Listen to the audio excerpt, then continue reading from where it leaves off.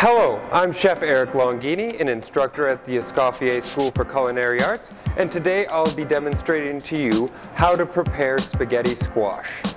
This is a hard winter squash, so you want to be very careful when we're cutting this. Um, it will be hard to work your knife through, so go slowly until you get comfortable with working with this product.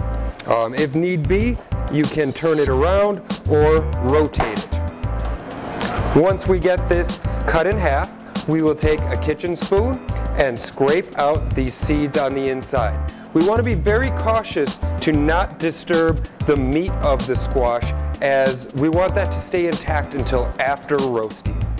Once you have both halves of the squash in your pan, we will take a small amount of water, just enough to cover the bottom of the pan.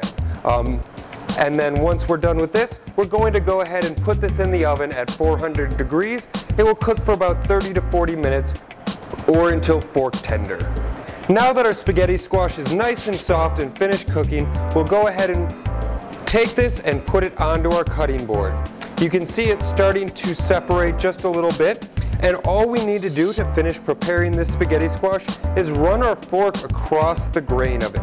Now you're really starting to see why we call this spaghetti squash. Make sure we get it nice and separated so you really get to see the beautiful strands of this unique squash. Go ahead and plate that. Um, again, season this with olive oil, salt, pepper, or even butter if you like, and then your favorite chopped herbs.